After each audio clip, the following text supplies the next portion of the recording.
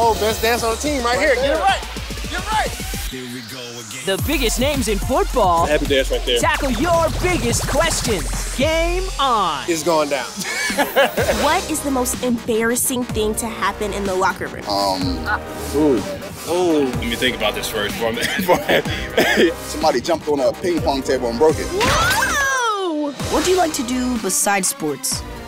Video games. Yeah, video games. I like to play with my daughter. Just watch TV and relax. I like to be outside with my dogs, just hanging out. I grew up on a lake, so I like to, you know, go boating and jet skiing. I like to sit down, read, and when I'm not reading, I love to watch SpongeBob. Do you miss home?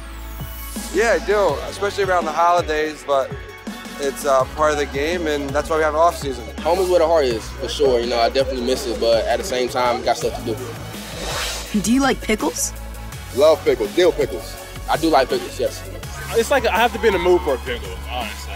Like Tommy Pickles What's your favorite part about playing? is uh, running out the tunnel and, you know, playing in big games like the Super Bowl, really. You know, making big plays is always the best part about playing. What's it like being tackled by guys who are way bigger than you? I try not to let that happen. Oh, I do. I do the tackling. I don't get tackled. And finally, Do you like lollipops? Love lollipops. I kind of like lollipops. Especially after the doctor. I love lollipops after the doctor's visit. Want more videos? Subscribe to the Nickelodeon YouTube channel now.